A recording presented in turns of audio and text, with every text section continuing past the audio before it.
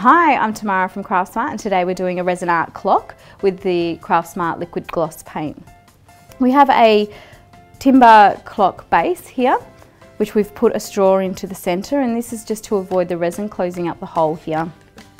We've sealed off the clock base with the Craftsmart glaze paste. So we have some clock hands and clock numbers. We also have a clock moving mechanism which goes on from behind.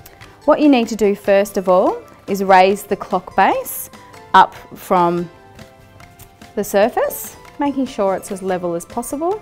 And we want to pour out equal quantities of the liquid gloss in part A and part B.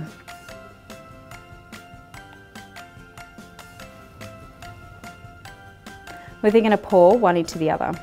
Now the resin will go cloudy and it will create some air bubbles when you're mixing. Once you've mixed for around two minutes, can then divide your resin up. We're going to use an acrylic silver, an oil-based purple and a white pearl powder. So we're just going to divide the resin up now. So the white pearl powder, we're just going to need a small amount of that into the resin. Same with the silver, just a small amount. And the purple. Give them a good mix. Make sure that the colour is mixed through thoroughly.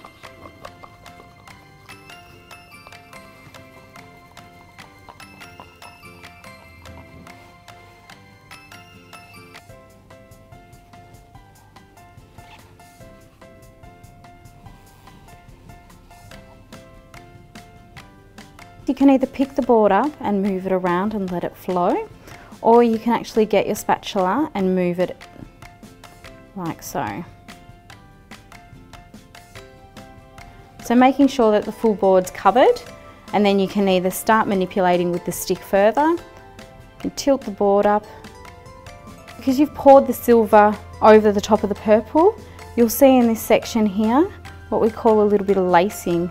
So the silver is actually going to separate from the purple a little bit and this would be because the silver was an acrylic and the purple was an oil base. I'm going to take my gloves off and we're just going to do a little butane torch, get rid of some of these air bubbles. You need to go over the surface, that flame not quite touching, but in a circular motion and not staying in the one place.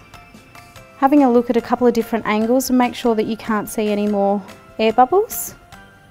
So we want to get close to that straw but not too close. So just watch your flame and where the bubbles are bursting on the resin and just get as close as possible. Just grab the resin from off the base, so off the surface of the table. Move that along the edge. So once you've finished doing these edges, you can then go back over with a butane torch. What I'm going to do first is just throw this white pigment pearl powder through just to give it a little bit of an extra sheen. Just let that run. We're just going to let the highlights come in off the stick and do its own thing. Just run off the stick. Again, flame close to the surface but not touching. Now this will keep running for at least another couple of hours and it'll be touch dried about 18 to 24 hours. The straw will be able to come out closer to 48 hours and then you can put your mechanisms in at 48 hours. So here's the finished resin art clock, perfect for any living area or kitchen.